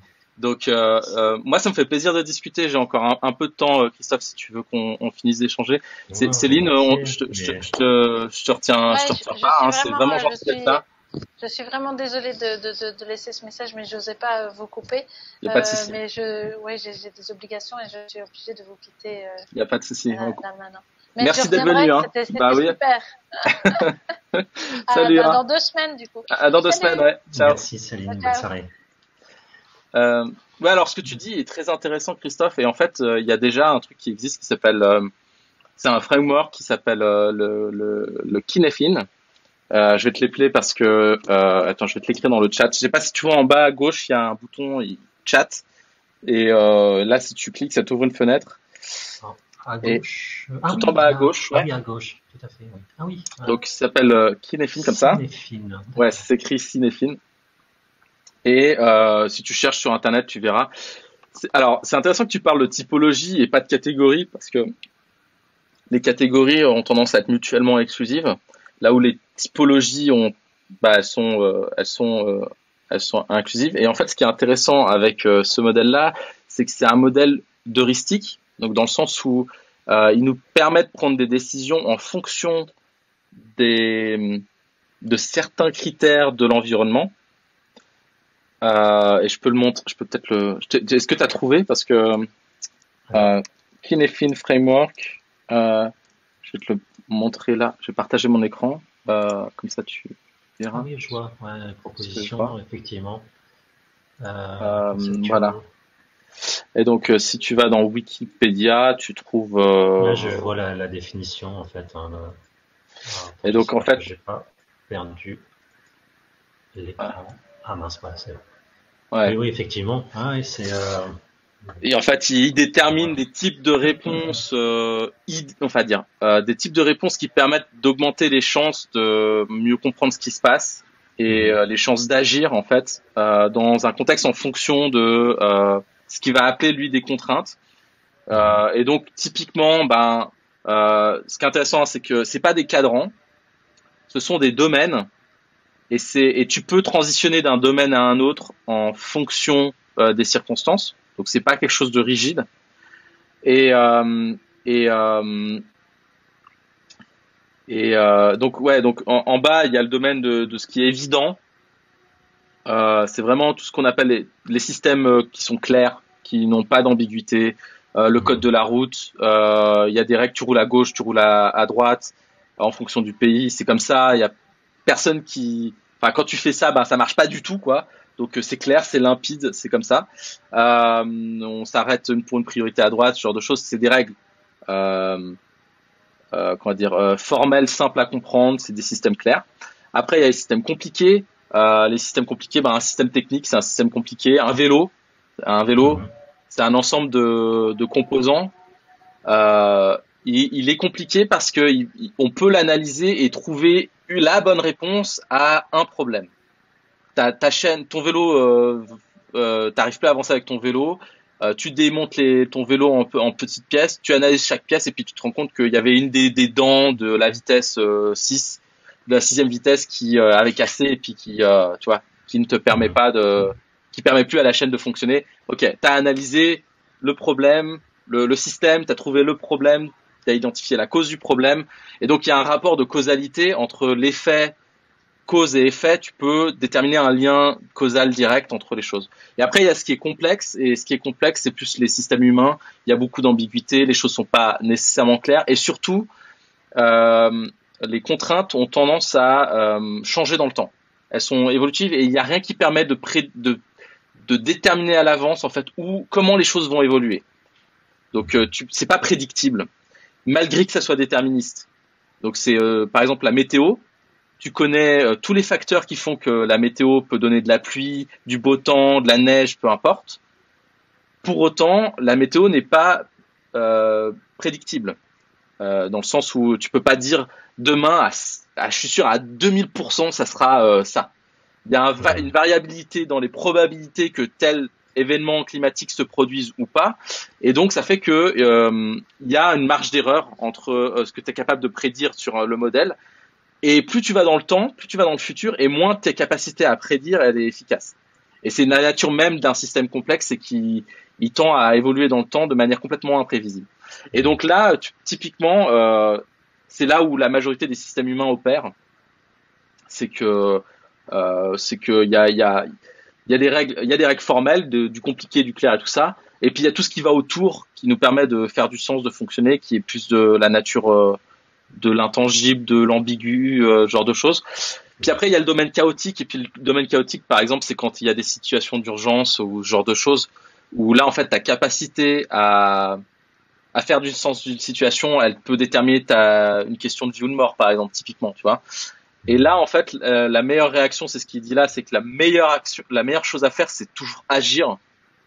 Et après, d'essayer de voir ce que ça a eu comme conséquence typiquement. Et là, dans le complexe, euh, par exemple, on va dire plutôt euh, euh, sonder le, le, terrain, faire du sens de ce que tu de, de, ta, de tes sondes, mhm. et à ce moment-là agir. Là où le compliqué, tu vas typiquement, tu vas analyser et tu vas résoudre le problème que, que tu avais. Et donc c'est intéressant parce que ça te permet de vaguement, tu vas catégoriser les événements autour de toi et les choses, et ça te permet de faire du de faire une cartographie en fait de contexte dans lequel tu es en train d'évoluer, de qu'est-ce qui est de l'ordre du clair au évident, de qu'est-ce qui est de l'ordre du compliqué, de qu'est-ce qui est de l'ordre du complexe, etc., etc. Et en fait, te créer un, on va dire, un modèle euh, simple, hein, basique, pas mathématique, hein, mais un modèle de fonctionnement du contexte dans lequel tu es, qui te permet de prendre des décisions plus efficaces, tu vois. Et ça, après, ça te permet réellement de prendre, de dire, on va, on va designer des choses en fonction d'où on est en train d'opérer euh, parce que en fonction d'où tu es en train d'opérer, ben, tu as plus ou moins de certitude sur les effets que tu vas avoir. Typiquement, quand tu es dans du complexe, tu voudras plutôt tester plusieurs alternatives en parallèle parce que tu es plus dans le domaine des probabilités et tu es plus dans le, problème, dans le domaine de, de l'imprévisibilité. Et donc, euh, ce que tu veux, c'est voir quelle est la chose qui émerge le plus de ce que tu es en train d'essayer de faire, tu vois. Mmh, mmh, Et donc, tu veux pas te fixer sur une solution donnée et aller droit dans, dedans parce que si c'est le mur, ben, tu te le prends en pleine, fois, en pleine face et puis tu te le prends bien. Tu veux augmenter les, les pistes que tu as en parallèle, ce qu'on va appeler avoir un portefeuille de stratégie, en fait, dans lequel tu es en train de, de, de tester des choses et en fonction de qu'est-ce qui commence à bien fonctionner et surtout du genre de résultat que c'est en train de donner, est-ce que ça va dans la bonne direction? Eh ben, tu vas ajuster le tir en allant plus dans ce genre de choses et moins dans ce qui marchait pas. Et du coup, t'augmentes tes chances. Et c'est pour ça que c'est vraiment un truc de probabilité, c'est que t'augmentes tes chances de, de, faire quelque chose de positif en faisant, ce genre d'approche. Alors que dans du compliqué, ben, une fois que tu as fait l'analyse, il y a qu'une seule bonne réponse, donc tu te poses pas trop de questions, quoi. T'as pas besoin de tester 10 000 trucs. Il y a une réponse à la question bah tu fais ce qui est ce qui est évident de faire quoi. Tu vois ce que je veux dire? C'est intéressant d'avoir comme ça une un, un, framework comme ça qui permet de bien analyser euh, leur raisonnement parce que je m'aperçois que euh, moi quand j'ai échangé avec des, des, des clients euh, qui avaient qui étaient passés chez le notaire euh, dans, dans, les questions qui étaient posées, enfin, je te disais tout à l'heure, hein, euh, interviewer en fait un, mm-hmm un utilisateur, en, en soi, c'est un métier à part entière. Euh, Et donc, euh, recueillir les bonnes informations, savoir bien les traduire, et, et, et avant ça, d'avoir une, enfin de, de, de, cibler en fait les, les éléments qui peuvent être une source de, de d'informations précieuses en fait. C'est vrai que ça, c'est un travail euh, euh voilà, enfin, qu'on fait, puis après on a vite fait de se laisser un petit peu euh, guider par la, la discussion, euh, euh, réinterpréter ce que dit le client. enfin, c'est voilà, c'est un, métier. un métier, mais c'est très riche hein, et, ce travail n'est pas fait. Il n'est pas fait, voilà, chez beaucoup de professionnels. Hein. Mais par contre, je pense qu'il y a un mouvement qui s'opère. Alors, moi, c'est un petit peu la, la perception journée, c'est qu'on on attache de plus en plus d'importance à, à ce que ressent le client. Enfin, il y a un, il y a un mouvement qui s'opère. Hein. On, on, tend à, à intégrer euh, euh, les, le ressenti du client. Enfin, en, en mm-hmm. tout cas, il y, a, il y, a, une prise de conscience. Alors après, est-ce que c'est traduit euh, véritablement par des actions concrètes? Bon, ça c'est un, un, autre sujet. Ouais. Mais euh, on sent que aujourd'hui, on s'intéresse plus à comment est, délivrer la prestation que la prestation elle-même. Et, et c'est pour ça que matcher l'expérience collaborateur à l'expérience euh, client, en fait, enfin pour moi, ça va de pair. Ouais. Je vois que il y a des acteurs hein, dans, dans l'industrie tech euh, qui, qui, qui, ont intégré ça. Alors après, tout ça, c'est récent. Hein. Je crois que ça, ça a été théorisé. Enfin, L'année dernière, ça a pris de l'ampleur. Euh, le Covid a, a, contribué à ça. Euh, après, j'ai l'impression qu'il y a beaucoup de littérature. Euh, alors, dans le juridique. Bah, est-ce qu'il est qu y en a tant que ça? Enfin, en tout cas, dans le domaine du design et du légal et ou de la rec, ou de la legtech ou rectech ou je sais pas quoi. Euh, enfin, la doc, euh, la littérature sur le sujet, il y en a, il y en a. J'ai pas l'impression qu'il y en ait tant que ça. Sur de la gouvernance en général, oui. Sur. Euh... Alors, tu vois, ce que tu dis là, quand je me suis, euh, quand j'ai creusé le legal design, euh, moi j'avais l'impression, je disais voilà, en fait les avocats, les directions juridiques, les juristes ont, ont, une certaine avance. On sent une maturité du sujet. Ouais. Et les notaires sont à la traîne. Et en fait, on m'a dit non, détrompe-toi.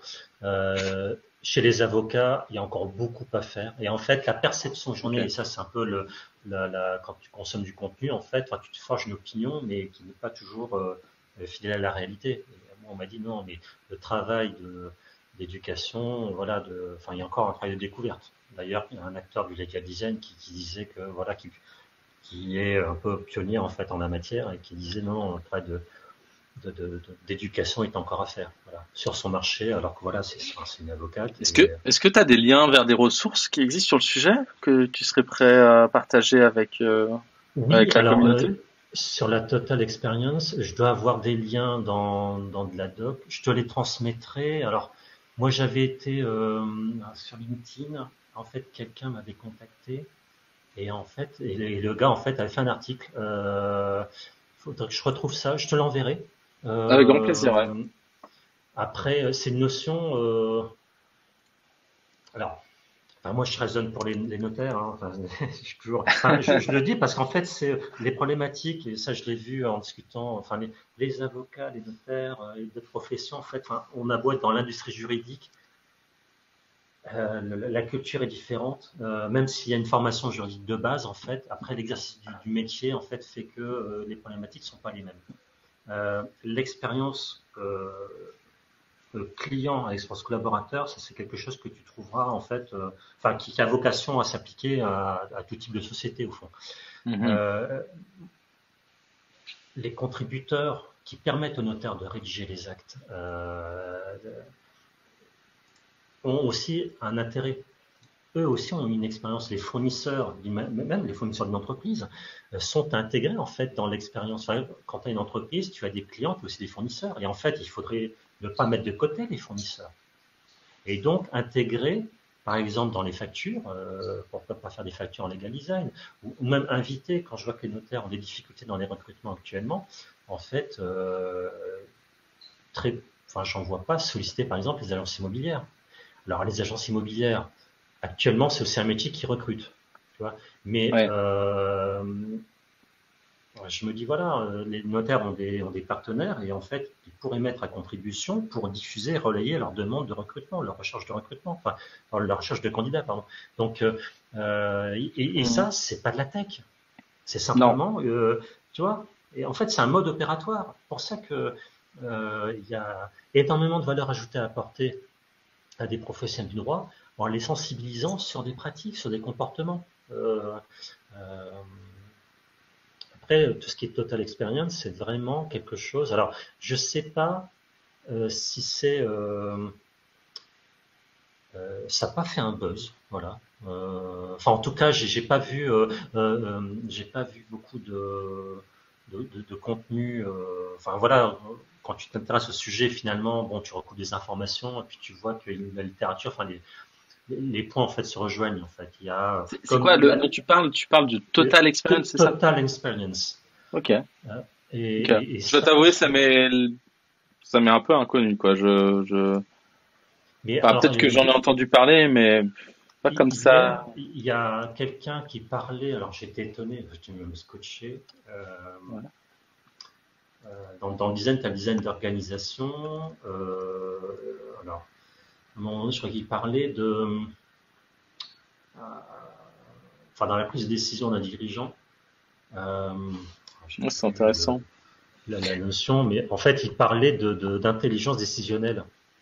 Ouais. Et, la notion était plus, euh, plus subtile. Je t'enverrai le lien de, de l'article. Et en fait, tout ça, ça permet, je trouve, à des professionnels de se dire voilà, on, toutes les interactions oui, c'était sur l'expérience euh, l'expérience client. En fait, euh, ce qu'il faut, c'est euh, s'intéresser, alors prendre des décisions dans l'intérêt de l'organisation et dans la prestation qu'elle délivre au client.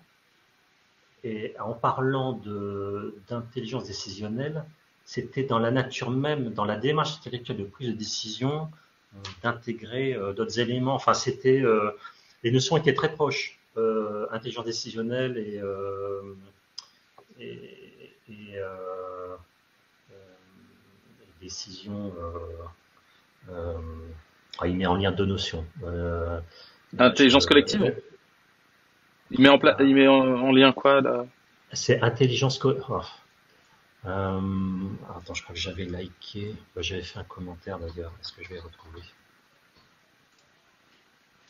Parce que maintenant que je vois la définition, je vois, je vois de quoi il s'agit. Je veux dire, je suis pas, ça m'étonne pas que ça existe. Je savais pas qu'il y avait un terme, euh, enfin, attribué à, ça. J'ai l'impression. Tu vas manger Tu vas pas venir manger? J'arrive. Dans quelques minutes, j'arrive. Ok. Ok? Mes filles qui me demandent si je vais manger avec elle. Euh, euh, Alors, je pas à trouver. donc, donc ouais, ça fait du sens. Après, je me méfie toujours un peu de ce genre de terme parce que des fois, c'est inventé. En plus, là, regarde, là, ils disent. Il peut y avoir été, des démarches été... de marketing, enfin bon. Ouais, ça a été posé par Gartner et KPMG dans un report qu'ils ont fait en, 2000, en 2021 sur euh, voilà. Souvent, souvent, euh, bah, la réalité, l'impression que j'ai, c'est qu'il y a souvent dans une organisation, surtout quand elles font une certaine taille, il y a beaucoup d'acteurs différents qui s'occupent de ce qu'on appelle l'expérience. Après, il n'y a pas toujours des gens qui ont un titre d'experience designer ou je sais pas trop quoi. Mmh. Et euh, moi, par exemple, euh, jusqu'à maintenant, je enfin, ça fait pas mal d'années que je travaille dans le milieu euh, de la finance, euh, la banque et tout ça. Et, euh, et j'ai bossé sur des, sur des choses qui sont plus liées aux clients de la banque, ou aux régulateurs de la banque, ou aux partenaires de la banque, ou même aux employés de la banque. Mais euh, il n'y a pas un, toujours un tronc, un tronc commun. Alors c'est intéressant de vouloir poser ça. Je connais des gens qui font ce genre de choses euh, qui sont plus de l'ordre du ce qu'on appelle du service design, qui est euh, vraiment cette idée qu'il y a une transversalité de l'expérience euh, voilà, mais souvent elle est posée de la sur la sur le principe que euh, l'expérience qu'on regarde en priorité, c'est celle de, du client. Et on va dire que dans un point de vue marketing business, ça fait du sens parce que le client, c'est celui qui rapporte de l'argent. Et du coup, la l'importance, elle est, elle est, elle est là où il y a le fric qui rentre, quoi, euh, de manière très pragmatique. Après, après, euh, il y a un lien. Pour moi, il y a une forte corrélation entre les les moyens que l'organisation met en place pour euh, satisfaire euh, l'expérience client et la, et la nature de ces moyens-là. C'est-à-dire, est-ce que les gens en interne sont satisfaits de comment ils délivrent les services qu'ils délivrent? Euh, Bah, ça fait beaucoup sur la, la va dire la qualité de l'expérience euh, euh, délivrée à la fin pour les, les, utilisateurs aussi. Si le mec qui répond au téléphone, il a juste pas envie d'être là et il est désagréable au téléphone, euh, on est d'accord que tu hmm. peux avoir euh, les meilleurs outils de la planète pour euh, délivrer l'expérience que tu veux. Si les gens derrière sont pas contents de la manière dont ils le font, euh, ça va pas améliorer nécessairement l'expérience. Quoi. Donc oui, il y a des choses que tu peux faire. Il y a voilà. Après, euh, qui est totale expérience, je connaissais pas. Euh, dans la pratique, je, je, je, je connais personne qui en fait réellement. Euh, c'est intéressant comme comme ça peut être intégré en fait c'est euh, moi quand j'ai vu ça c'est marrant parce que quand, quand j'ai euh, vu cette notion je, je m'étais déjà euh fait à l'idée qu'il fallait intégrer l'intérêt du collaborateur dans la délivrance de la prestation notariale voilà et ne pas être simplement focalisé sur le client. D'ailleurs j'avais eu un échange avec une, personne qui opère dans le legal design et je lui dis mais euh, tout est tourné sur le client, c'est très bien, mais à un moment donné, en fait, euh, l'intérêt du client ne va pas de pair avec celui du, du collaborateur. On parlait de transparence tout à l'heure. Voilà. c'est où est-ce qu'on où est-ce qu'on met la la limite entre entre entre les deux? Et c'est vrai que c'est pour ça que je, je, suis pas un grand fan de tu vois il y a il y a des termes comme euh, human centered design ou euh, digital mm centered je sais pas quoi ou dès qu'on met dès qu'on est centré sur quelque chose, par définition, on exclut euh, bah, tout, tout, ce qui n'est pas dans, dans, dans, dans, ce qu'on est en train de s'intéresser. Et, euh, et d'être, tu vois, les, organisations qui se disent euh, customer driven ou customer centric ou je sais pas trop quoi, bah oui, c'est pas que c'est mal en soi, c'est juste que euh, trop de ça, c'est pas c'est pas pas bien non plus. Un peu une vision holistique en fait du sujet. Euh, exactement, exactement. Mais ça c'est c'est pas évident à appréhender. Hein. Non. Euh, on pourrait en parler. On en parler des heures. Des heures mais... c'est bien vrai. Euh, je, ouais, en plus, je, je, suis désolé, je vais, je, faut, faut que j'y aille, mais ça m'a fait vraiment plaisir de, de discuter avec toi. C'était très intéressant. C'est réciproque. C'est réciproque. Euh, ça fait un bien fou de parler euh, de, ces sujets. Euh, puis en français, enfin voilà. alors, sache que c'est normal que tu ne sois pas au courant qu'il y avait des trucs en français jusqu'à maintenant parce qu'il n'y en avait pas. C'est très récent, j'ai commencé les chalets virtuels en français en début d'année en janvier, c'était la deuxième semaine de janvier, et on fait ça toutes les deux semaines. Donc l'idée c'est ça, c'est que toutes les deux semaines il y ait euh, cet événement récurrent. On vient, on vient pas, c'est libre accès à qui que ce soit qui a envie de venir ou pas, de venir ou pas. Et on parle de du sujet du moment qui nous paraît important, voilà. Et puis il n'y a pas tant de sujets que ça. Il n'y a pas de, je veux dire, il y a pas de sujet établi. Après, on va dire que la euh, la communauté, euh, donc la communauté, c'est euh, Design and, Critical Thinking. Et on a on a quelques membres aujourd'hui. Je pense que sur l'outil sur Slack, on est on est à peu près 130.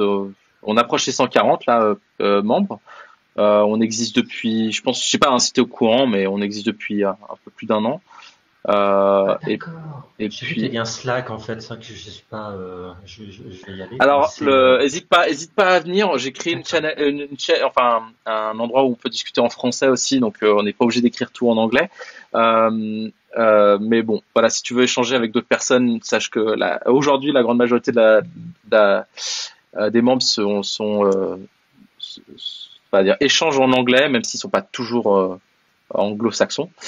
Euh, et puis euh, l'idée c'est que, en fait, je connais pas de, de communautés francophones qui font ce genre de, de choses. Ça existe un peu euh, dans le milieu, euh, on va dire plus euh, anglo-saxon, de ces genres de tu vois, d'événements informels où on parle un peu de, de tout et de, et de rien, on philosophe un peu mmh. sur nos, de choses et tout le monde n'est pas prêt à passer une heure avec des inconnus à discuter de, de, n'importe quoi.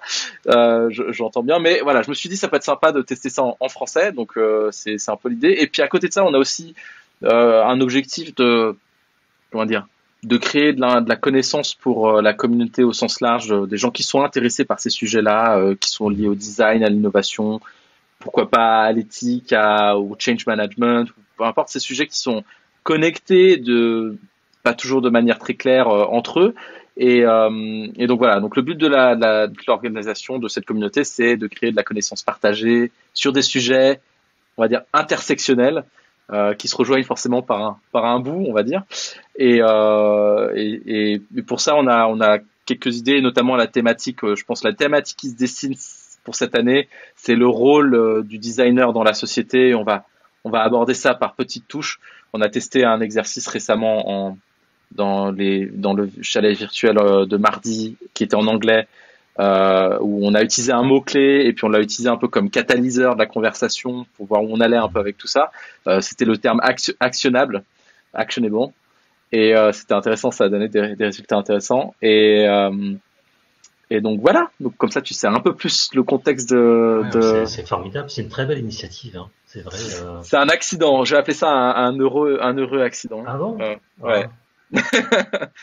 ah, en tout cas, euh, c'est un accident qui est bien, bien, bien fêteur. En tout cas, enfin moi, je, je suis très heureux de d'avoir pu changer là sur voilà sur ce sujet très qui est passionnant. Après, euh, il faut, euh, je dis, hein, faut éduquer et, au fond, enfin, ce que j'ai vu là ces derniers jours euh, me fait penser que bon, il faut, il y a énormément de travail là-dessus, et ensuite de pouvoir traduire mhm. en fait une, voilà, des actions qui puissent être bah, actionnables, enfin voilà, que ce soit profitable en fait rapidement.